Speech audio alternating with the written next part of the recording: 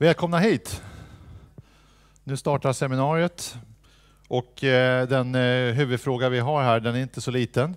Den handlar om hur vi klarar behoven hos våra mest sjuka invånare.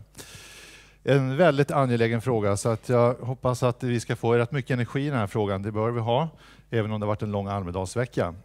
Eh, den här frågan kan man ju i många stycken beskriva som en slags ödesfråga egentligen. Det är en oerhört stor fråga för att klara vården och omsorgen i framtiden. Och vi ser nu olika former av försök att komma närmare i samordningen kring den här målgruppen av de mest sjuka. Jag själv heter Dag Norén och eh, arbetar annars till vardags med de här frågorna både som, som utredare, utvärderare och konsult i en, en viktigt stor fråga runt om i hela landet. Eh, idag så kommer vi ha representanter här från Region Skåne och från Västra Götalandsregionen samt eh, den särskilda utredning som man har gjort från statens sida kring effektiv vård.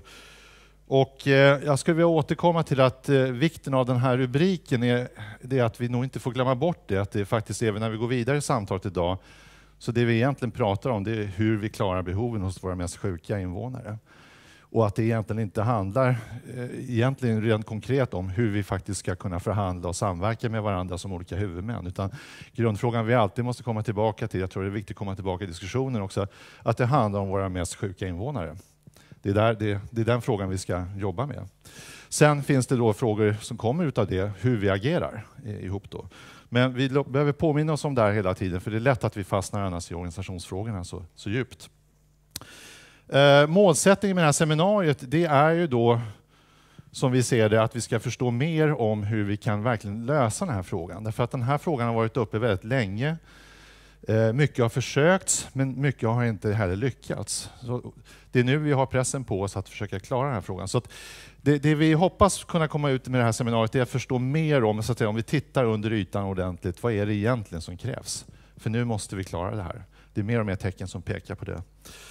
Och vi kan också behöva påminna oss om den målgrupp vi talar om här. Det är ju den målgrupp som är väldigt, väldigt stor när det gäller konsumtion av vård och omsorg. Kronikergrupperna, de som är kroniskt sjuka, där den här gruppen ingår, de tar ungefär 80-85% av alla resurser inom sjukvården. Det är en väldigt, väldigt stor andel. Om vi beskriver på ett annat sätt så kan vi beskriva om de äldre multisjuka som också utgör en stor del av den här gruppen. De är ungefär 3-5% av de som är 65 år och äldre och tar ungefär 50% av de samlade sjukvårdsresurserna. Ändå har vi inte riktigt byggt en vård som fungerar för de som behöver vård mest och omsorg. Det är det som är den intressanta frågan här. Vi har varit ganska duktiga på akutvård, vi är väldigt duktiga på akutvård. Vi har blivit allt bättre på tillgänglighetsbaserad vård, där man kommer in snabbt och kommer ut snabbt. Men den här gruppen, det här har vi inte riktigt löst. Och, Eh, jag kommer att presentera övriga här också, men den utredning då som eh, Göran Stiernstedt som är här idag, som har varit statens särskilde samordnare för effektiv vård, det vill säga den utredning som har tittat på de här frågorna ordentligt, eh, pekar ju nog, vågar jag säga, som att det här är kanske den största frågan som det egentligen handlar om. Att lösa den här frågan om hur vi klarar behoven hos våra mest sjuka invånare. Eh, så den är väldigt intressant nu att titta vidare på just nu, här och nu. I övrigt så har vi andra deltagare här. Vi har från regionerna så har vi från Region Skåne, Maria Nyman Stjernskog, du är regionråd och också ordförande för nämnden Kry i Skåne. Vi har Johan Folin som är politisk sekreterare för Moderaterna. Förlåt, du är från Socialdemokraterna ska jag säga också Maria. Och du är från Moderaterna och eh, är ansvarig för sjukvårdsfrågor där som politisk sekreterare. Och så har vi Jonas Andersson, du är regionråd och du är också ordförande för hälso och sjukvårdsstyrelsen i Västra Götalandsregionen. Och så har vi Karina Lindqvist som representerar kommunerna. Du är avdelningschef för socialtjänst, vård och omsorg på Kommunalförbundet Skåne. Jättebra att ni är här allihopa och alla kom i tid kan jag säga. Så att det är extra mycket värt. Jag tycker vi kan ge dem en kort applåd för att de är här. Om jag ber dig Göran komma upp först på scen. Du har nu varit, det här är ditt tjugonde seminarium har du talat om för mig under den här veckan. Men Göran vet fortfarande var han är någonstans. Men frågan har du burit med dig hela vägen här i, i sammanhanget. Det som jag egentligen skulle börja vilja säga det är Jo, jag hörde ett väldigt intressant eh, citat här, någon som sa det här under, under veckan som var här. Om man drar en rak gräns igenom massa olika aktiviteter, då blir alltid någonting utanför. Den reflektionen är ju ganska intressant och det tror jag är rätt mycket vad du uppehåller dig Ja. i din studie. Du kan väl börja med att reflektera kring vad, hur du ser på den här linjen, varför den har varit så bekymmersam. Ja, alltså hela vårt system är ju att försöka fördela, vara väldigt, eller försöka fördela ansvar. Och, eh, göra en, och ofta så efterlyser man ju väldigt tydlig ansvarsfördelning och då blir ju att dra gränser eh, oerhört viktigt. Mm. Och det är väl en resa jag har gjort själv också, både i utredningen men även tidigare. Eh, eh, vi hade ju ett projekt kring det här, eller haft i Stockholm i tio år, som jag varit djupt involverad i, Norrtäljeprojektet. Det tog väldigt lång tid för mig även att inse att det finns väldigt många i en organisation som har nästan till uppgift att dra gränser. Och eh, jag har ju sagt många gånger när jag varit ute också att det var min medarbetare Anna Ingemansson som sen i utredningen tog in avtal mellan huvudmännen till exempel. För det var ju mycket den nivån. Sen finns det, många, det finns ju många gränser. Mm. Så det är inte bara den gränsen, men det är kanske den gränsen som, som vi har fokuserat mycket på. Hon tog in avtal från eh, hela landet. Mm. Och då upptäckte vi att de var, var ofta oerhört omfattande och handlade uteslutande om eh, sida upp och sida ner, mm. om att dra mm. gränsen. Jag brukar ju ofta säga det där att det var mycket, mycket vem ska sätta på stödstrumpan och vem ska betala för den. Och var vi ute? För vi var ju, det är en annan utredning kopplad till det här som handlar om utskrivningsklara. Mm. Och jag vill verkligen ta tillfället att betona att man ska se dem som ett paket faktiskt. Då, då, då man pratade så här, då så var ofta budskapet vi vill ha en katalog över gränsen. Och där, därför vill jag redan nu säga så att den första och största och viktigaste mentala resan det är att inse att man inte kan dra gränsen. Mm, mm. Utan att man har ett gemensamt uppdrag. Och mm. sen kan man faktiskt... Det gäller liksom inte bara på högsta nivå mellan kommun och landsting, utan det gäller liksom hela vägen ner, ända ner mot brukaren, patienten. Det här eh, behovet av att dra gränser, det är ju en väldigt viktig sak att komma åt då, i det här fallet för att vi ska kunna komma vidare med nya sätt. Vad är det som gör att vi har ett sådant behov just av att dra gränser? Vad är det som det egentligen handlar om där under ytan? Ja, det handlar ju ofta om att våra styrsystem, alltså det handlar om budgetar och eh, mm. ytterst handlar det nog väldigt mycket om budgetar. Och mm. så handlar det, tror jag, om på något sätt så, så lever ju alltid omsorg och hälso och sjukvård i någon sorts relativ resursbrist. Vi kommer ju liksom aldrig vara, vara nöjda, eh, utan eh, därför att behoven ja, vi har utveckling och, och, det finns ju liksom alltid behov mm. att tillgodose. Mm. mm. Och då tror jag liksom uppstår den här eh, eh, då är det liksom alltid lite relativ budgetbrist. Mm. Och vad är lättare än att försöka placera kostnaden någon annanstans. Och vi har också väldigt kortsiktiga budgetsystem. Alltså att det blir ofta akut, mm. eh, håller budgeten på och drar iväg. Och då, ja, då är det lätt att fokusera på mm. stödstrumpan. Mm. Mm. Jag tänkte nu när man ska komma framåt, och du har levt med den här frågan ganska länge nu, eh, också även innan utredningen till många delar. Vad är det egentligen som är den allra svåraste utmaningen för att kommuner och landsting och regioner ska kunna samordna sig runt den här målgruppen? Jag tror att det är det här. Mm. Alltså, att, att, verkligen, och jag tror att, eh, jag tror att man kommer... Man, ofta har man...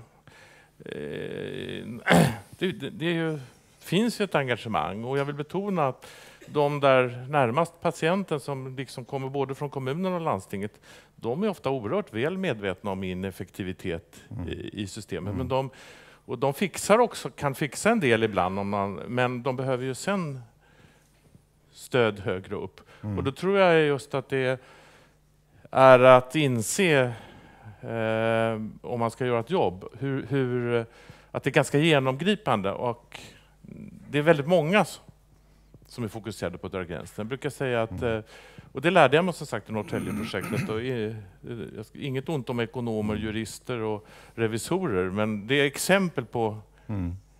Mm. gränsdragare som man måste, liksom, om man får uttrycka mig lite, säkra upp mm. i, i den här typen av, av processer. Och då är, hänger det oerhört mycket på mm. ledarskap. Och jag tror att det, ledarskapet det politiska ledarskapet högst upp är extremt viktigt. Inte för att borra i detaljer, men Nej. vara väldigt tydligt i, i kravställning. Vi har en gemensam uppgift. Mm. Jag tänkte just på utredningen som ni har gjort, det är ju intressant därför att den kanske då överraskade något med att inte vara en, en klassisk organisationslösningsutredning Nej. utan faktiskt en utredning som pekade på att det är utförarmodellen som är den viktiga. Alltså själva det nätverk, det måste för säga, kunna styras upp på ett bättre sätt. Är det här ett nytt sätt att tänka där vi liksom inte tänker så mycket organisationsgränser och organisationslösningar utan tänker process mera och, och, och nätverkssamverkan? Ja, det har varit modernt i och för sig att tänka processanalyser eh, rätt Ja. länge. Så här, nytt, och, ny, nytt och nytt. Men jag kan säga så här, det är påfallande hur, hur ofta man möts av att man, jaha, då börjar vi med organisationen Mm. och så smackar vi ihop det. Eh, och och det, det var nog ett misstag i, i Norrtäljeprojektet till Mm, exempel. Och mm. då- Ja, men nu är de ju samma burk. Liksom. Då, eh, Ingenting då, hände. då fixar de det där. Ja, det hände en hel del längst ut, det vill jag Mm, säga. mm. Och, det, och lite hände, i, alltså, det var jätteentusiasm alltså, de som var närmast patienten, de fixade det som sitt, men sen kommer det till att omfördela resurser och, och, Mm. eh, och, och, och så vidare. Mm, Mm. mm. Sen också i utredningen så eh, föreslår ni ju faktiskt en lagstiftning. För, för Absolut. Att, att samverka. Frågan är till dig, alltså, tror du, är, det nö, är, är det nödvändigt? Må, vi måste ha en lagstiftning eller kan det här faktiskt rulla på utan lagstiftning? Ja, mitt budskap är hela tiden, det är bara att sätta igång. Det finns ju liksom ingen, och det Nej. gäller faktiskt den andra utredningen om utskrivningsklara också. Ah. Det, det, det, jag är lite ledsen att inte och det, det, det är ju redan dagens lagstiftning så är ju den, hela den frågan så, så kallad dispositiv. Just Alltså, det. Mm. det är ju liksom backup Mm. eh, lagstiftning. Mm. Mm. Så att eh, det, det är egentligen bara... Men vi tror, vi, alltså, vi, vi tror ibland att lagstiftningen är... Eller jag tror att lagstiftningen är viktig för att anslå principer. Mm. Och då finns det det här med avtal Mm. och det finns det här med att viss verksamhet ska utföras tillsammans med, men observera, det är inte, anger ingen organisation. Och min resa själv i det här är, jag brukar säga att om jag hade, skulle göra om eh, min eh, chefskarriär så att säga, så skulle jag fokusera mycket mindre på organisation. Jag har också börjat ofta med att Mm. eh, organisera. Det, det är liksom en, Mm. och, och det gjorde ju jag ju i Norrtäljeprojektet också. Mm. Mm. Det är liksom en ryggmärgsreflex Mm. som slår till. Mm. Men när jag chansen vill jag påpeka en sak också som är viktig i utredningen. Alltså, det är viktigt för mig. Det, vi, en slutsats som inte blivit så uppmärksammad är faktiskt, det är inte, enligt vår uppfattning, resursbrist totalt sett. Istället så finns det mycket resurser. Mm. Men konsten är ju att utnyttja dem rätt. Mm. Och det finns egentligen, och den andra viktiga utredningen vi ska komma ihåg är ju faktiskt också att det är just på den här patientgruppen där komplexiteten är störst, det är en viktig utsats, slutsats i utredningen, där effektiviseringsmöjligheterna är störst. Men det låter alltid när vi pratar nu kostnadseffektivitet, det är ju god vård. Alltså det är ytterst Mm, mm. för, eh, det, det, det är vad som är bra för den här Mm. gruppen, en oerhört viktig grupp. Så det handlar också om etik och, Mm. och moral. Och så är det så lyckligt att om det blir bra för dem så blir det också ett effektivare resursutnyttjande. Mm, mm.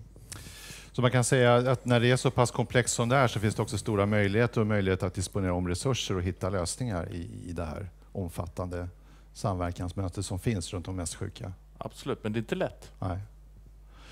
Då ska vi eh, få höra lite mer om hur man kommer framåt i det här. Och, eh, jag tackar dig så länge Göran. Eh, och du kommer komma tillbaka igen här eh, med lite goda råd och lyssna samtidigt på diskussionen. Eh, jag tänkte be att eh, ni som är regionföreträdare kommer upp på scen. Och, eh, nu har vi representanter från två regioner här, vilket är intressant. Det är två stora regioner, två av de allra största vid sidan om Stockholm. Vi har Region Skåne då, eh, som ni vet här, och så har vi från Västra Götalandsregionen, så ni är mycket välkomna. Och ni säger så här, ni är i lite olika fas. I Region Skåne pågår det en process mot ett samverkansavtal mellan kommunerna och regionen, Eh, just kring då just särskilt hemsjukvårdspatienterna.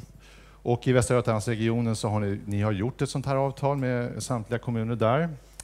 Eh, och ni har nu inträtt en strategi av att, så att säga, föra in nya vårdmodeller i sammanhanget. Det kan vi återkomma till. Så det är lite, ni har lite olika fas, men ni har, jag tror att ni, det finns en intressant diskussion just mellan ni företrädare här. Om jag börjar eh, med dig Maria, tänkte jag eh, fråga dig. Alltså, vad, vad ser du som den största utmaningen för att gå i mål med den här, inte bara avtalet, utan komma vidare med att faktiskt också leverera god vård och omsorg till de mest sjuka? Till att börja med, anledningen till att vi är där vi är nu tror jag är just att vi har haft patienten i fokus. Att det har varit en svårighet, alltså att det har varit lite för diffust. Mm. Det är inte det här traditionella gränssnittsdiskussionen och ekonomin som har kommit först, utan faktiskt patienten.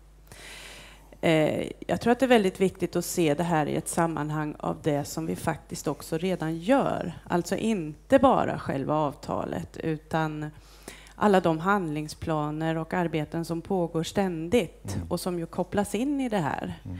Och då tänker jag på handlingsplanerna för våra mest sjuka, som varje förvaltning har tagit, eller våran handlingsplan för demensvård till exempel. Mm, mm. Så att vi inte ser den här diskussionen som någonting vid sidan av, utan faktiskt förstärka det som vi redan gör. Mm. Det tror jag också är en viktig faktor för att lyckas med avtalet. Mm, mm. Och Johan, hur ser du på frågan eh, från ditt perspektiv? Vad, vad, är den största utmaningen som du ser i sammanhanget?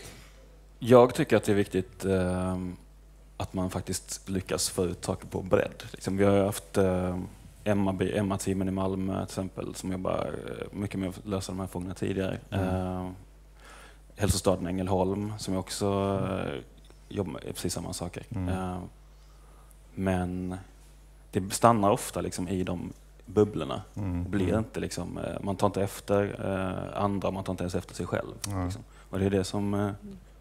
förhoppningsvis nu då kommer bli bredd. Ja, precis.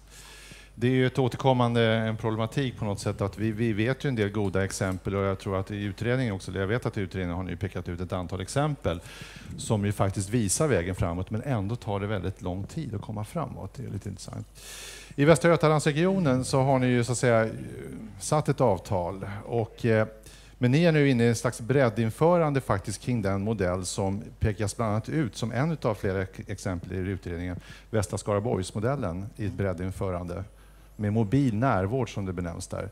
Vill du berätta lite om den strategin? Vad tror du om det? Kommer det att lyckas? För ni stödjer ju detta med, med, med pengar helt enkelt. Från ja, nej, vad vi har bestämt oss för det är ju som Göran säger, egentligen har vi inte resursbrist. Eh, det finns mängder med resurser som vi egentligen inte kommer patienten till del. Eh, mm. Patienten får en, många av de här mest sjuka äldre får en rätt häftig skatteåterbäring med konsumerar jättemycket både intensivvård och vårding på sjukhus, mm. men till väldigt litet värde för mm. den enskilde patienten, utan snarare obehag för den enskilde patienten.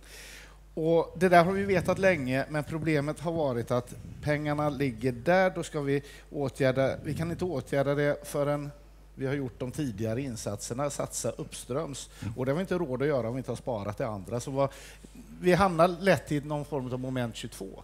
Där har vi fördelen nu att ha en god ekonomi i Västra Götalandsregionen har faktiskt bestämt att vi ska investera där för att förhoppningsvis mm. plocka hem nedströms senare genom att vi inte behöver lika mycket återinläggningar inom 30 dagar. Och när jag räknar på det så ser man att skulle vi halvera antalet återinläggningar inom 30 dagar, mm. ja, då frigör vi 10 procent av alla vårdplatser. Tack mm. för det. Vi slipper mm. överbeläggningsproblematiken, mm. vi slipper en hel del av rekryteringsproblemen. Mm. Och samtidigt har vi skapat en ökad trygghet för den enskilde patienten. Mm. låter ju det här jättebusenkelt och det är det naturligtvis inte att, eh, att eh, hantera detta. Och det, det Göran var inne på, att vi lätt fastnar eh, tillsammans region, kommun, vem gör vad?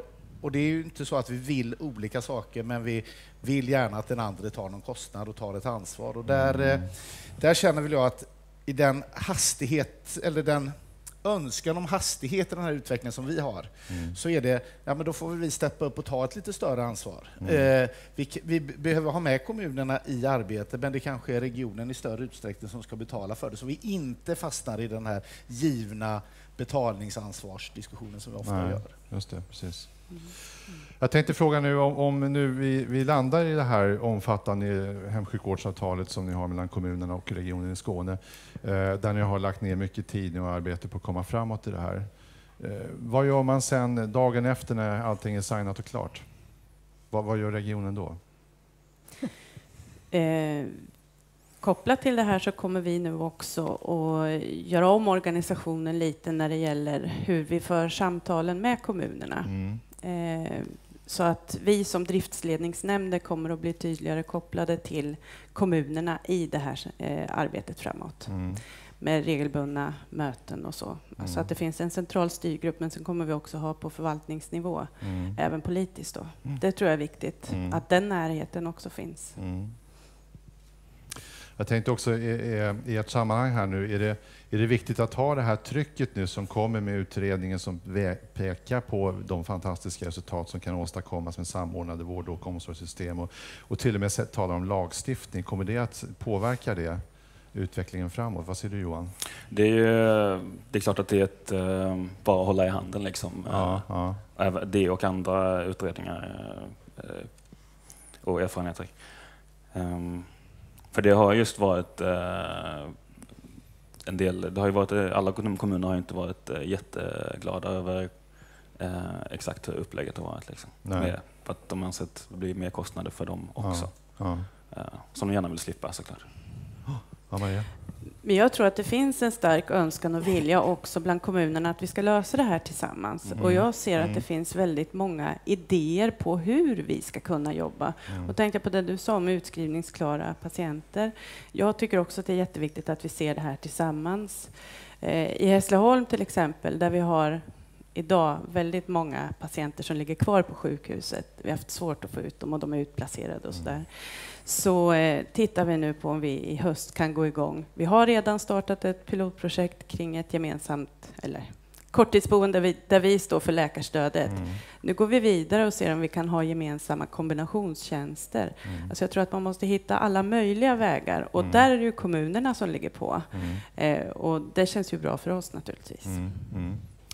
Hur resonerar ni i Västra Götalandsregionen? Jag tänker med bakgrunden med effektiv vård och lagstiftningsfrågan där som är uppe. Rubriken här bakom är Hur tror vi oss ha råd att misslyckas? Men också oh. Hur tror vi oss ha tid att vänta? Eh, för det, jag tror det finns en risk att vi både i kommuner och landsting och regioner sätter oss och liksom, ja, nu har Görans utredning lagts, den var ute på remiss, sen ska regeringen hantera den och sen ska det komma lagförslag, så ska de gå igenom i riksdagen. Och vad som nu blir lagförslag utav det där vet vi inte än heller. Och det är egentligen bara en liten del utav eh, Görans utredning som jag mm. ser det. Jag brukar mm. beskriva det som det är en tipskatalog för Maria, Johan och mig och andra kommun mm. och regionpolitiker att hantera detta. Och, mm. Eh, och det ser vi ju bara på utskrivnings, den, Görans första så att säga, utskrivningsklar eh, eh, utredningen som ju skulle blivit en, en proposition före sommaren. Den är skjuten till hösten, kanske förhoppningsvis så ska ska den implementeras och så vidare.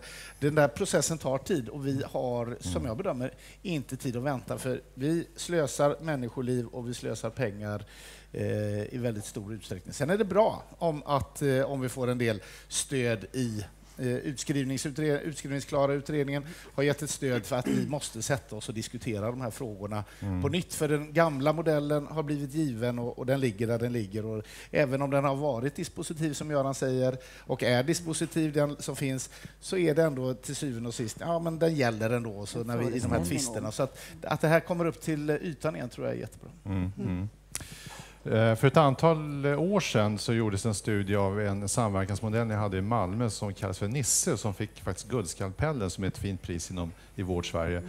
Där gjordes en beräkning att om man jobbade med den modellen på samma sätt över hela Sverige mot hela den målgrupp vi pratar om, målgruppen mest sjuka äldre är ungefär, som de hade som målgrupp, ungefär 300 000 invånare, då skulle vi spara 20 miljarder varje år. Eh, vilket ju säger en del om resursfrågan i, i sammanhanget. Och sen la man ner Nisse. Den modellen överlevde då inte. Sen har den återuppstått lite grann, Emma-projektet och lite annat sånt där liknande. Hur, hur, kan det här komma sig? Varför är, vi kan säga så här, den största dödligheten i sjukvården, vet ni vad det är? Det är inte patienter, det är projekten. De dör mest. Varför är det så? Och det här sker ju inom, inom region och landsting väldigt mycket. Är det någon som har någon fundering på den viktiga frågan? Ja. ja. Men vi har ju pratat om det här att det är svårt att få goda idéer att spridas. Mm. Eh, många projekt dör som sagt. Eh, vad är det som gör att vi ska kunna komma förbi det här nu och verkligen ta tag i frågan och få spridningen att fungera? Det, kanske, det måste vara någonting djupare. Ja. Nej, men vi, vi, har ju sett det här Västra Skaraborgs-exemplet som med rätta lyfts fram. Det har ju pågått i över tio år egentligen, sedan vi började det där. Sen har det väl fått fart eh, först för en fem, sex år sedan. Eh, och alla pratar om Västra Skaraborgs-exemplet utom i Västra Götaland. Eh, för där ska man ha sin modell uppe i Fyrbodalsområdet, Dalsland, norra Bohuslän. Göteborg passar ju inte detta. Eh, Sjuhäradsområdet, de är ju lite annorlunda så det går ju inte riktigt här heller. Va? Att det här med att inte bli profet på sin egen hemmaplan mm. är, är jättemärkligt. Och, eh, och, då måste, och det är klart, det finns skillnader, vi måste anamma dem och, och vi har en utmaning i det här, när vi, eller i alla fall vi på vår hemmaplan pratar om den patientnära vården. För för mig innebär det också både allt från mer sjukhusbaserad, avancerad sjukvård i hemmet. Mm. Det är hur vårdcentralerna behöver flytta hem. Vi behöver den mobila närvården som antingen tillhör någon av de här organisationerna eller en helt ny organisation, vårdcentral i samverkan eller någonting annat. Den, hur vi ska lösa det här organisatoriskt har vi inte satt ner foten ännu, men det, och det är det vi räknar med att mm. göra mm. under den här eh, hösten, vintern, för att hitta en modell som är tillräckligt generaliserbar, men som också kan ta hänsyn till de olika avstånd, olika mm. Befolkningssammansättning och, mm, och lite mm, annat också, mm. förutsättningar som finns. Och det är klart att i en region som Västra Götaland mm. finns det väldigt många olikheter i en sån jättestor region, från storstad till glesbygd. Så att säga. Mm, I, eh, I Region Skåne har ni haft Hälsostaden som ett utmärkt exempel på samarbete mellan just eh, kommunen och eh, regionen. Och eh, i stort sett kopierat den modell som man talar om här i utredningen, bland annat Västra Skaraborgsmodellen, och fått samma resultat faktiskt, vilket är intressant. Det visar ju faktiskt att det här går i olika miljöer. Jag upplever ändå att det är också lite svårt att få den modellen att spridas i Region Skåne. Hur ser ni på det? För den har ju ändå fått mycket uppmärksamhet. Ja, alltså vi hade ju kunnat implementera den, eh, alltså eh, avsluta projektet och gå in i ordinarie verksamhet. Mm. Men nu har vi förlängt projekttiden lite här. Eh, men jag tror nyckeln är just att hålla i och hålla ut mm. och se till att det avslutas som projekt mm. och faktiskt implementeras i den ordinarie verksamheten. Mm. Sen har ju hälsostaden varit en mm. dyr lösning, men den är väldigt bra på många sätt som vi mm. kan eh, anamma på på fler ställen i Skåne. Och det finns också sådana försök på gång. Mm. Både Trelleborg, Landskrona och Hässleholm. Ja, och där tycker jag mm. just det är en viktig, en viktig grej att um, ja, alltså, det ska avslutas som ett projekt, men uh, har vi ingen plan för hur man tar över de erfarenheterna så mm. blir det den här projektdöden. Liksom. Mm. Um, Just det. Mm. Ja, du sa ett ord där som jag tror är viktigt, det är uthållighet. Det, det är någonting som kanske inte alltid har varit det starkaste i, i en värld som genomsyras av mängder av satsningar och, och projekt och inte minst statens stora satsningar som ju tar mycket också tid. Då. Eh, då tackar jag er så länge. Ni kommer komma tillbaka här. Och eh, det här är ju inte nu för att skilja kommuner och regioner åt som vi gör det här, men, men nu, nu tänkte vi byta. Så nu får Karina komma upp som ju företräder det kommunala perspektivet. Sen kommer vi stå här upp som helt förenad grupp och jobba vidare mot framtiden sen. Men nu först så byter vi så får vi lite luftomsättningar på scenen. Ja, ni har ju nu, du framförallt, har ju varit väldigt engagerad i hela den här samverkansprocessen nu som har pågått tillsammans med regionerna och med kommunerna. Och jag har också sett hur, hur, hur, eh, det här är ganska stort arbete och mödosamt, så att säga, men ni rullar på. Liksom. Vad, om jag ställer samma fråga som jag ställde inledningsvis till regionrepresentanterna, vad, vad ser ni från kommunernas sida så att säga, som den största utmaningen i det här sammanhanget, mm. för att komma i mål så att säga, och gå vidare? Mm. Utmaningen är ju just det här med att, att, vi, att vi måste jobba mer tajt tillsammans. Så att vi måste lita på att den här framåtrörelsen nu sker i en gemensam takt. Mm. Och att det också kan ske på olika sätt beroende på vilka förutsättningar som finns. Och det finns en stark viljeinriktning, det uttrycktes här också tidigare. Det finns, kommunerna vill ju detta. Men det är klart att man ser hinder och det, mm. det, det måste man också ta hänsyn till och respektera. Mm. Eh, det krävs också mod för den typ av, jag, brukar, jag vet du brukar säga det, en kulturförändring, att titta på saker på ett annat sätt. Vi är vana ganska mycket med att hålla oss till avtal som är strikta, mm. Eh, svarta och vita. I det här fallet handlar det om en utvecklingsresa vi ska göra mm, tillsammans. Mm. Det är stora och små kommuner, en del har 7000 invånare, ända upp till 300. Det, eh, geografin ser annorlunda ut. Mm. Och det måste man också ta hänsyn till samtidigt som man ska bevaka individperspektivet. Och det kan jag väl säga att uh, kommunpolitikerna har varit väldigt tydliga i hela den här resan om att det är tillsammans med då regionens politiker att det är individperspektivet vi ska fokusera på här i första hand. Mm. Försöka göra det så bra som möjligt. Ja, Man vill ju ställa då frågan om, nu talar vi ofta om problem, men om vi ser så här, vad är, vad är den möjlighet som, gör, som kan dra och som kommunerna ser i det här sammanhanget? Eh, det jag vet att eh, när den här resan påbörjades då för drygt tre år sedan så, så hade vi haft ett avtal som i stort sett hade lappats och lagats sedan ädelreformen. Mm. Och, så var, och då gjorde, var det en dialog väldigt mycket med kommuner under den perioden. Mm. Och då sa man, vi saknar, alltså hemsjukvården behöver, eh, behöver få stöd av läkare av läkardelen mm. på ett mm. annat sätt. Vi måste mm. samarbeta teambaserat på ett annat sätt för att möta behoven samlat. Och det tror jag är, mm. det, är det som kommunerna förväntar sig väldigt mycket nu. Hoppas nu verkligen att det här stödet kommer mm. att fungera och att vi kan känna oss trygga med det. Att vi tillsammans hanterar våra respektive uppdrag och ansvarsgränser, om man får uttrycka det, men att vi också är beredda att, att liksom ge och ta. Ja, så det finns en känsla av att det kan bli svårt det här med att få det här verkligen som teambaserat över gränsen att fungera och framförallt är det en oro för läkarstödet att det ska vara tillräckligt? Eller? Ja, det, det är det. Alltså att, att mm. parterna ska så att säga leva upp till det här som man har mm. kommit överens om. Mm. Håller, håller det här nu. Mm. Och därför tycker jag att det är så himla viktigt det här med just det här med ledningsstrukturen, att det mm. finns en politisk ledningsstruktur både på central och delregional nivå som kan följa det. Att vi ska utvärdera det och att vi kommer ha indikatorer för vad vi ska utvärdera och att vi är överens om de indikatorerna. Det är oerhört viktigt. Eh, om nu, när nu avtalet då är på plats, vilket vi ju förväntar oss att det ska komma, då, eh, vad, vad, vad, gör du dagen efter vi har signat avtalet? Aj. Eh, alltså jag är ju inte den som ska göra mest, om man säger så. Jag, men du är rätt central i det? Försöka ja. förfina. Det är ju ett ja. jättejobb. Alltså det är ju som sagt, det är nu det börjar. Mm. Eh, och, men det är ju inte det är inte den, avtalsstarten är första september. Det är mm. inte så att någonting ändras den andra september. Utan då startar den här dialogen. Och som Maria var inne på det här med att man bygger delregionala strukturer så att man närmar sig, bygger upp eh, överenskommelser kring mm. vilka steg ska vi ta nu här. Det, mm. det, det, är en resa och det är väldigt många delar mm. som behöver komma på plats på olika mm. sätt eh, med arbetsgrupper och mm. utveckling och digitalt stöd. Ja, ni vet allt det där. Ja. Alltså, det, det, kan väl vara en risk i sammanhanget. För jag menar, eh, Göran tog ju upp exempel från Norrtälje som ju har en gemensam huvudman mm. också för både vård och omsorg. Och ändå så, ja, det kanske hände lite grann i kanterna som du sa, men i stort sett så hände inte särskilt mycket för att man vet fortfarande inte hur man ska jobba. Mm. Mm. Är, inte, är det en utmaning fortfarande att ni liksom inte riktigt vet hur ni ska dra igång det? Eller finns det tillräckligt mycket kunskap tycker ni så att man kan titta på Västra Skaraborg och andra exempel och sen bara få det här att spridas?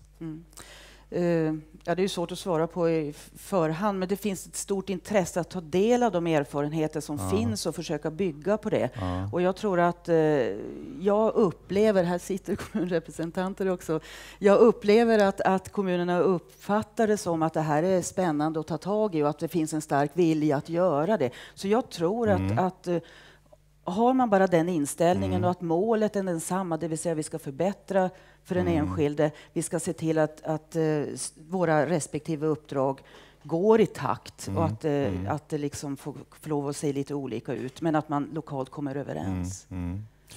Men man kan säga att det, det, det har funnits en, en miljö av lite misstänksamhet och en, en, att man tror att det handlar om kostnadsövervältringar och så vidare. Det finns en historia kanske, den har spelat in rätt så mycket. Mm. Men finns det möjlighet att man kan nu verkligen se patientgruppen gemensamt och komma förbi den spärren mm. som, har, som ändå har funnits där? Det tycker jag att man gör. Och jag har varit ute i, träffat de flesta kommuner nu här under våren, ja. bara där vi har varit runt, där jag mm. tillsammans med mm. vår styrgrupp, styr, styrelseordförande, mm. eh, politiker, har varit runt och träffat kommunerna. Det finns en stark viljeinriktning att jobba i den här riktningen mm. från kommunernas mm. håll. Mm. Så hoppas vi bara att vi ska få till det på ett bra sätt och att, vi, att den här fortsatta liksom förtroendeskapande eh, miljön kommer att, att finnas kvar när vi nu sätter igång på allvar. Mm, mm. Tack. Mm. Eh, vi tänkte gå in nu i ett, nästa fas. Du kan bli kvar, ja. eh. Så har vi nu möjlighet att liksom ta ett gemensamt samtal mera brett. Och eh, ni även i publiken, vill ni ställa frågor så finns det mikrofoner här om det behövs.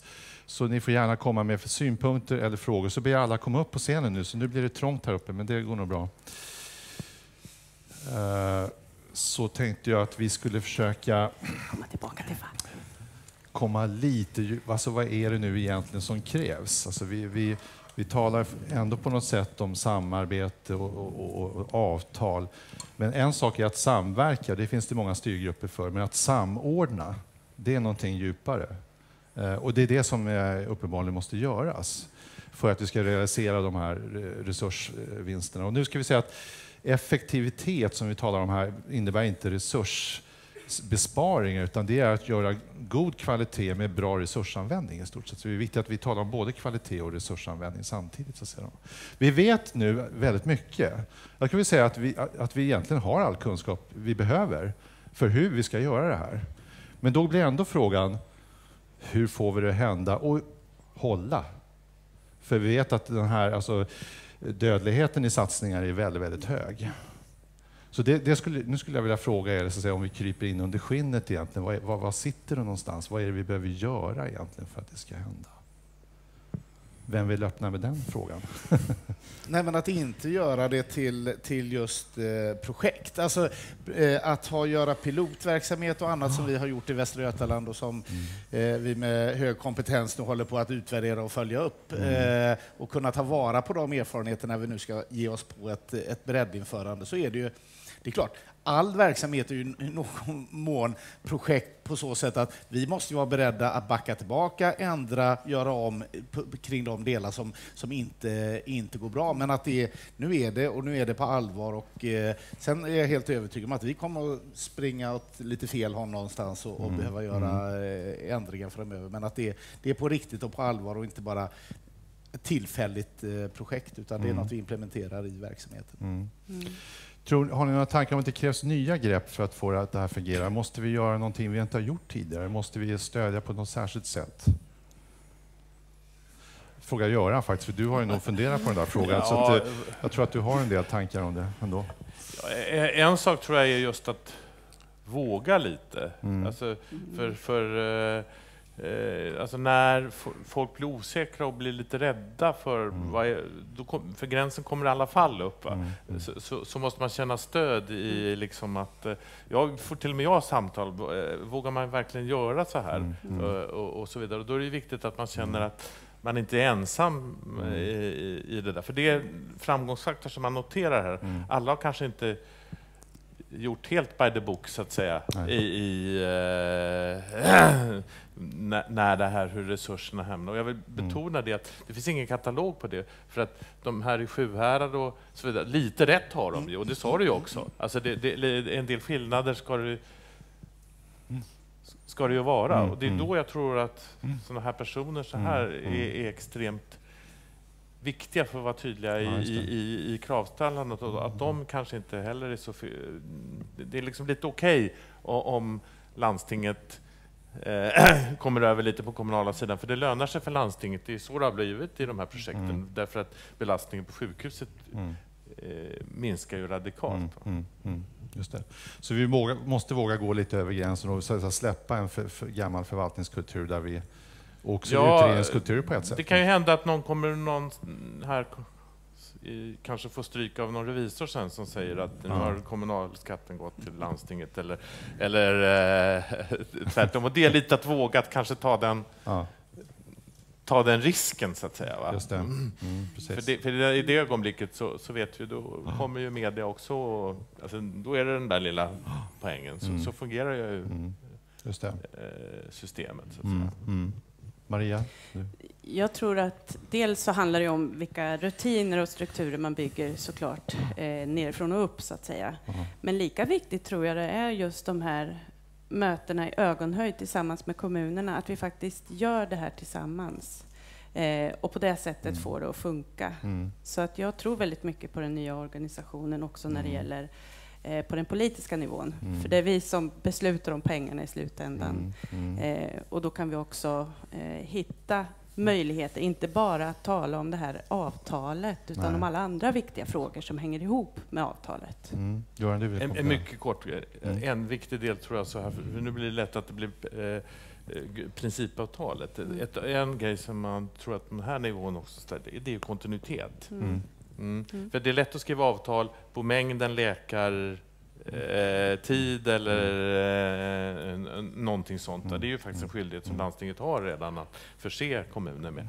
Men det är en enorm skillnad i effektivitet om, om den levereras som kontinuitet mm. eller om den levereras liksom som styckpris. Insats. Och det är ju så det ofta har varit. Va? Mm. Det här har ju inte varit den mest prioriterade verksamheten utan landstinget har ju i realiteten besatt det mesta och så får någon mm. sköta där. Det finns alltid undantag, men om, men om jag generaliserar lite. Mm. Mm. mm. Just det, precis. Mm. Johan? Ja, det är egentligen bara ett uh, tillägg. Människor är väldigt spårbundna. Eh, när man blir mm. osäker så är det ofta lätt att man tar ett steg tillbaka och säger mm. ja, jag vet hur vi har gjort. Mm. Eh, det är bättre att fortsätta så, för jag vet inte vad som händer om vi gör så här. Ja, just det. Um, Precis. Och det, ja, finns en det finns en modell i Danmark de kallar för 70-30. När vi är 70 procent säkra, då kör vi. Sen får, det, får vi liksom pröva det här. Det känns lite osvenskt ja. att, att, tänka på det sättet. Uh, men vi kanske måste våga lite åt det hållet för att det ska hända. Uh, och då måste vi vara lite modiga. Men vi har ett system som egentligen går ut på kontroll hela tiden, men väldigt lite på innovation. Så det är en utmaning där. Karina, uh, från kommunernas sida. Mm jag har ju faktiskt själv också varit involverad och känt den spänning som faktiskt finns i luften. Man kan ta på den ibland mellan kommuner och regioner så att säga. Samtidigt som ni kan samverka väldigt bra också. Eh, men vad tror du, liksom, om, du var ju lite inne på det, men om vi egentligen verkligen ska titta under ytan och med psykiatrikerns ögon se, vad är det egentligen som vi måste göra här, du måste kunna? Vad, vad ser du då som, som är liksom den kulturfråga du också du var inne på lite grann? Mm. Nej, men det är ju just det här att, att, att man måste lita på varandra, att man måste sätta ja. sig vid bordet tillsammans. Man måste se det som mm. ett gemensamt uppdrag. Och att man... Att, eh, eh, som jag var inne på tidigare, det här kring att det är en utvecklingsavtal, det, att, att det går i takt. Jag, jag tror, och att det mm. kan se olika ut på olika mm. ställen. Och mm. att man har respekt för det från respektive part, så inte den ena så att säga, trycker på säger nu ska det se ut på det här sättet, för då kommer vi att förlora förtroendet. Vi har mm. sagt att vi ska mm. göra det här tillsammans. Mm. Då ska vi också visa på att vi gör det. Och det kan vi bara göra genom att skapa relationer, dialog, vara nära. Och det, det bygger ju den här strukturen vi då har byggt upp på, både den centrala mm. politiska ledningen men också de delregionala strukturerna. Mm. Och med tjänstemannaberedningsgrupper och så vidare, mm. som också som, som stödjer det hela. Så att man eh, systematiserar hela tiden mm. och följer upp. Ja, okay. Jonas?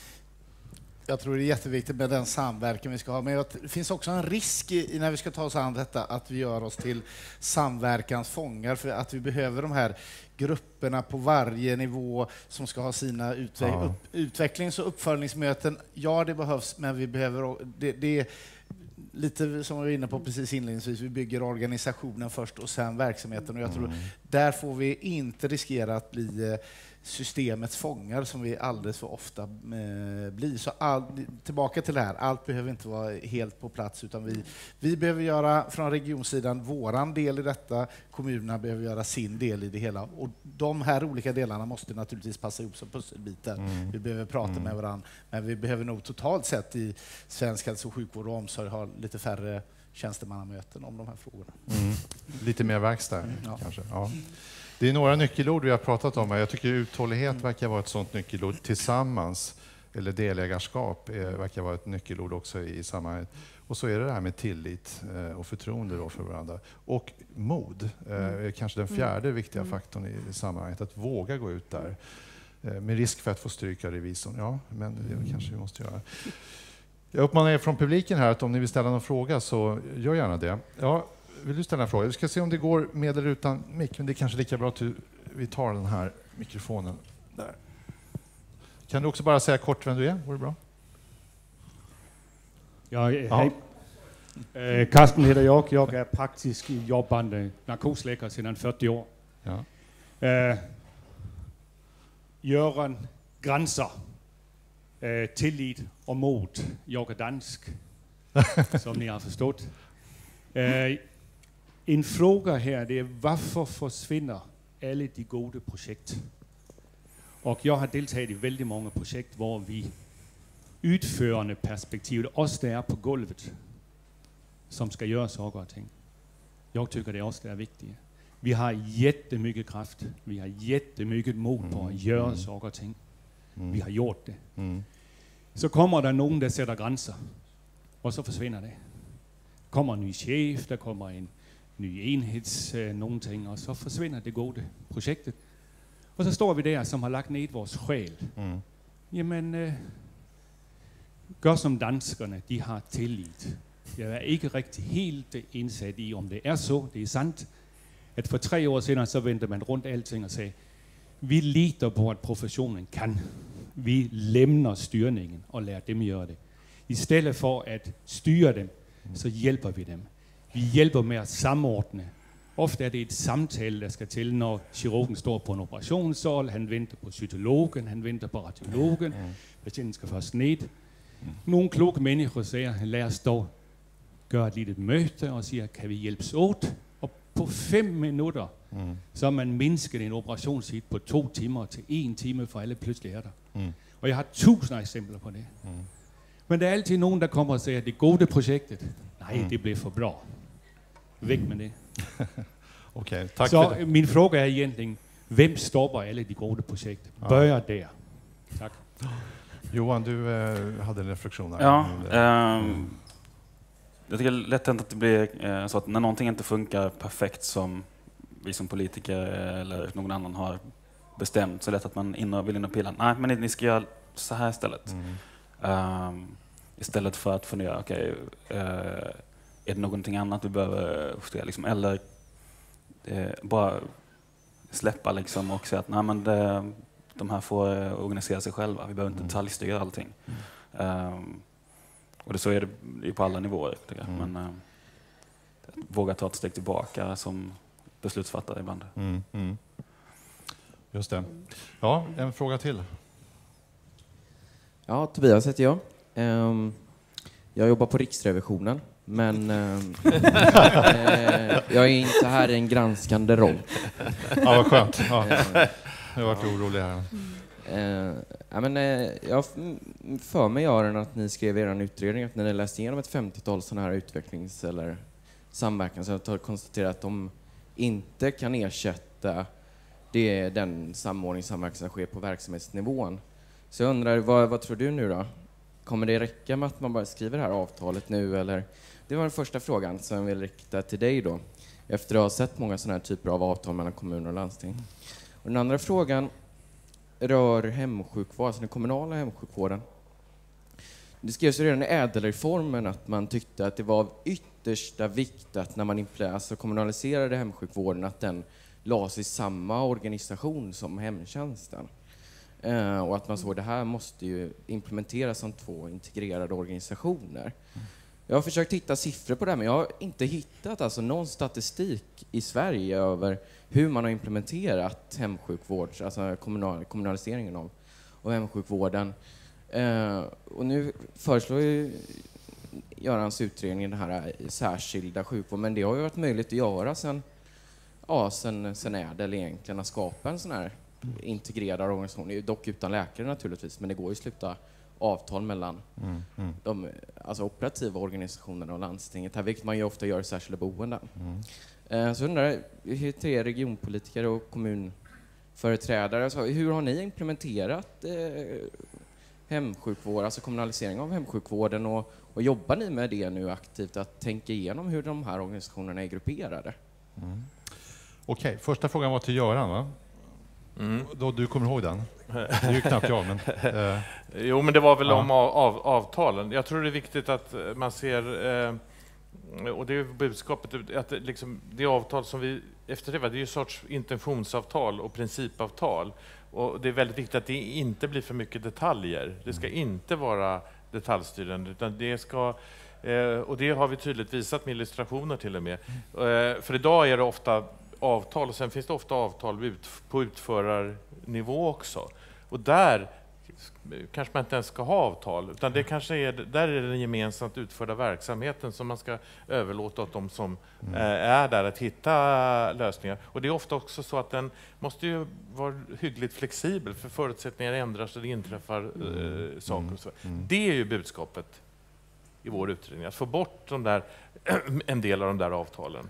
Och som sagt, att koncentrera sig på intentions... För då är det där, det är det som är den politiska uppgiften, och höger, att liksom vara tydlig i intentioner och slå fast vissa grundläggande eh, principer. Mm. Mm. Det var den frågan du hade till mig. Hade, var det något mer? Eller? Det ja, det var just det. Ja, då får vi, jag tycker väl både regionen och kommunerna, ni får väl svara på den frågan. Ni kommer ihåg frågan? Mm. Ja. Alltså på din första delen av frågan. Eh, jag inledde ju med att säga att jag tror att avtalet i sig är liksom inte sig själv nog, utan det handlar om också vad vi gör för övrigt. Eh, och tittar vi på de handlingsplaner som vi ändå har tagit fram så står det väldigt tydligt vad primärvården ska göra tillsammans med kommunen. Alltså på den nivån. Det är allt ifrån läkemedelsgenomgångar till munhälsobedömningar och så vidare. Så det tror jag är ett sätt att, att checka av. Mm. Jonas? Ja, alltså det, det, det är lite som Göran säger, i grunden är det här intentionsavtal och de som vi har haft, som vi håller på och eh, slutreviderar i Västra Götaland eh, just nu, handlar väldigt mycket om klyschan patient. Det, det, patienten ska inte känna av några organisationsgränser. Mm. Det är ambitionen och, när vi väl, och den är vi väldigt överens om och inga problem och, och annat. Men sen har det varit själva tillämpningen.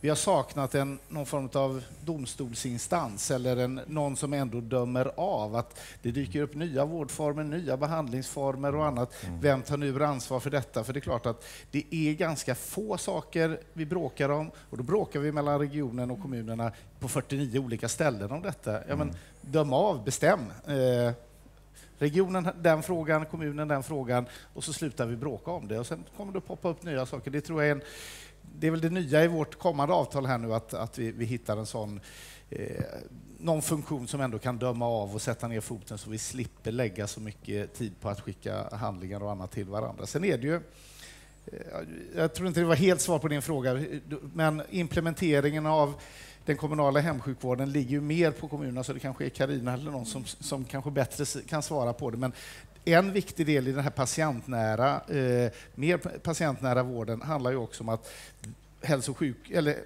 vård, landstings och regionorganisationen också kan bidra med mer kunskap, mer trygghet i form av läkarresurserna. Mm. Och, och där är jag väldigt glad över att vi inte är tillbaka i diskussionen, ska kommunen anställa läkare? För det tror jag vore, vore ett, eh, att gå helt fel väg, för då det, kommunerna kommer få alldeles för svårt att rekrytera de läkare som, som de skulle behöva. Kanske inte i Malmö och Göteborg, men i många av de här mindre kommunerna. Mm. Det är lite intressant faktiskt att när kommunerna tog skatteväxling och tog över hemsjukvården från landsting så kan man många gånger se att det, det, blev två separata organisationer. En som jobbar med hemtjänst och en som mm. jobbar med hos HSL-tjänsterna så att säga, som är skilda många gånger. Sen finns det en del som har integrerat det, men på något sätt så verkar vi bygga liksom, murar runt varje verksamhet. Mm. Var det ytterligare någon fråga där nere? Jag Ja, nej, alltså jag, jag, tänker så här att, att eh, vi pratar ju nu om att, att två huvudmän ska gå samman och försöka samarbeta, men vi måste ju naturligtvis titta inom våra egna organisationer. Hur kan vi bli bättre?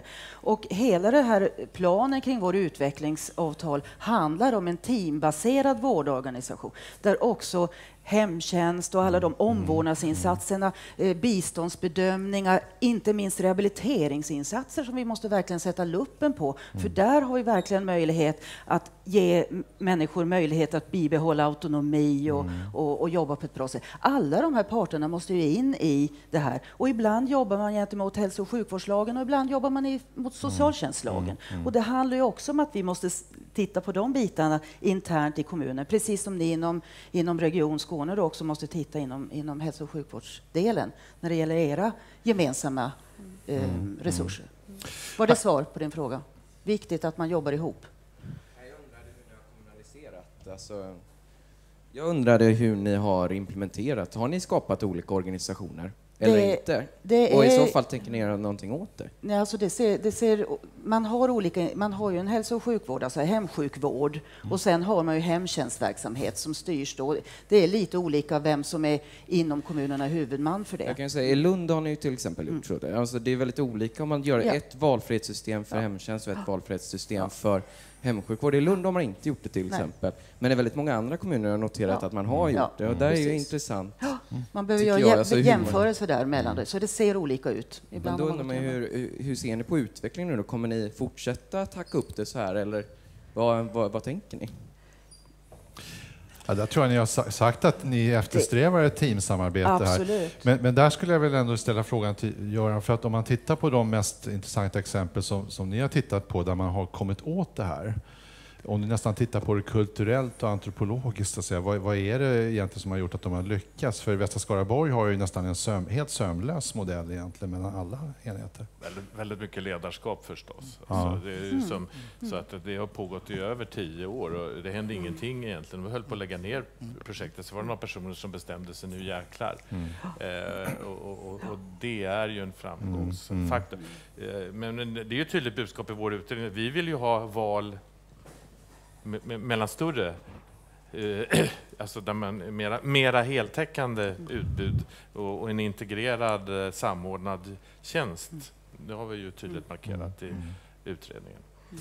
Jag skulle bara säga en kommentar. att Det känns som att vi oftast i de här frågorna pratar bara om utförarsidan, men vi verkar glömma beställarsidan många gånger. För vad man kan se exempelvis i Västra Götalandsregionen, det är att även om ni vill införa den här modellen av Västra Skaraborgs teamsamarbetet, så, så hackas mycket upp av ett ersättningssystem som kallade pinnar, där man, får, där man får betalt för hemsjukvårdsinsatser, framförallt från läkare, med en väldigt hög ersättning, relativt hög ersättning. Och att det blir ett plockepinn-system istället för att det blir teamsamverkan nästan. Eh, Här, här finns det ju en utmaning också, att vi kanske måste tänka om det. Hur tänker du på det, Jonas? Nej, men alltså det, eh, ja, det Göran pekar på, det som vi alla nog känner, det är hur stärker vi upp den? Alltså primärvården kommer att behöva spela en viktigare roll. Det vill primärvården. Första frågan är, förmår primärvården eh, hur, eh, att också ta en, en större roll eh, och hur snabbt klarar vi av en sån transformering. Den andra är ju naturligtvis med en vårdvalsmodell, med i, grunden egentligen samma uppdrag till alla våra 200 vårdcentraler i Västra Götaland som har olika, olika storlek, eh, olika förutsättningar. Eh, hur lägger vi ett ansvar och vilken typ av ansvar lägger vi på vård, enskilda vårdcentraler alternativt vårdcentraler i samverkan? För det är ju ofta, vi pratar om en ganska liten samlad grupp människor som vi ska eh, ge oss i kast med och då eh, eh, är ofta en vårdcentral ett för litet underlag och det är spännande hur man utvecklar de ersättningsmodellerna. Absolut. Vi hinner kanske med en snabb fråga från, jag vet inte vem som var först av er. Du har micken, då får du köra. Hej, jag Vem är du? Kat Haltur, jag är organisationsanalytiker och forskare inom hur strukturerna i politiska systemet kan stötta förändringsarbetet på golvet. Eh, och jag, eh, jag hör att eh, ni pratar om strukturer och system och uppföljning och så vidare. Eh, det jag tycker är mest ess- essentiellt i Görans rapport är han skriver om ledarskapet, men jag tänker att det mer handlar om hur ledarskapet kan stötta då de här öga mot öga-mötena. Och då undrar jag, hur ser ni på det här avtalet som då ska vara eh, inspirerande mer än något annat?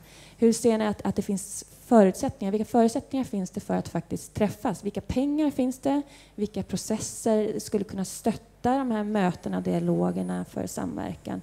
Vilka hinder ser ni? Vad kan vi, eh, de och jag göra för att hjälpa er? Mm. Ja, det är ju framförallt nu väl till Region Skåne då, och mm. Kommunförbundet Skåne, eller kommunerna i Skåne. Va, mm. Det är en omfattande fråga, ja. men, men, vad är det viktigaste då som man kan lyfta? nästan en minut på, nej, tio sekunder. Vem vill svara på den? men vi har väl berört väldigt mycket av det här, vad det handlar om. Alltså det, är, det är mod, det är ledarskap, det är uthållighet. Men det, det, är, det är inte pengar eller processer, utan det här är ju någon slags ambition. Mm. Jag undrar, vad finns det som stöttar de här bitarna? Mm. Kommer ni ha mandat att vara modiga? Mm. För, att, för att det verkar som att där det funkar, mm. där är det där man mm. med flit går emot eh, alla de här eh, linjerna som man måste hålla sig till. Maria? Det var jätteviktigt. Mandat. Alltså, I den här mm. nya strukturen så kommer vi att träffa de som har mandat i kommunerna och där vi har mandat så att säga. Så det tror jag är väldigt viktigt. Eh, jättebra. Mm. Tack. Göran? Jag bara medskick, mm. Eh, för nu har vi varit mycket på det här med, med, Det finns två saker jag hoppas man inte missar i det här. Och det ena är gemensam resursplanering. Mm. Eh, det vill säga att man måste identifiera alla mm. resurserna genom, vilket man inte gör så, utan genom att identifiera patientpopulationen först. Mm. Eh, och, och, och det andra är proaktivt arbetssätt. Alltså, det är viktigt att den här, för att jag har redan blivit inbjuden att ha synpunkter på många och det är jätteroligt och det är ofta bra, men man har ofta missat och fortfarande så tänker man i det reaktiva arbetssättet när man riggar mm, eh, mm. det. Det går ut på att planera, man måste ta patientperspektiv, att planera tillsammans. Mm. Och det är det den stora, de har lyckats med Ängelholm och så, det genom att jobbar lite mer förebyggande. Det är då mm. de kan hindra mm. Patienterna från att komma in på sjukhuset mm. Eh, till exempel.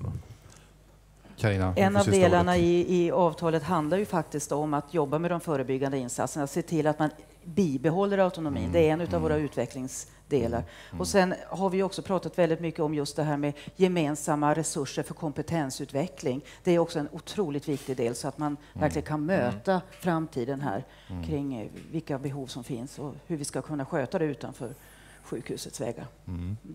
Tack för det. Då hoppas jag att vi har fått lite till liv om, om det här och vi ser att det fortfarande är en väg att gå. Eh, men vi måste göra det. Det är en ödesfråga. Vi har också sett vilka fantastiska kvalitets och resursvinster som det handlar om egentligen i det här. Det har kommit fram nu. Då tror jag trycket ökar. Så att jag hoppas på att jag ska kunna bli gammal och trygg. Eh, frågan är var jag ska bo någonstans, i Skåne eller Västra Götaland. Det får vi se vem som vinner. Eh, tack för att ni var här och lyssnade och en applåd till er alla. Tack.